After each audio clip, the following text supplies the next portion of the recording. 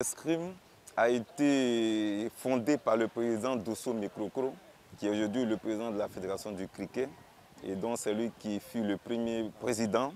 Après, il y a eu le président Sako et maintenant le président Zadi Grégoire. C'est vrai que c'est encore méconnu et donc la tâche du bureau exécutif de maintenant, c'est de faire en sorte que l'escrime soit vulgarisé.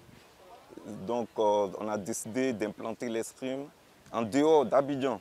Voilà, ce n'est pas seulement les Abidjanais qui vont le pratiquer, il faut aller en dehors, il faut aller à Bassam, il faut aller à Boaké.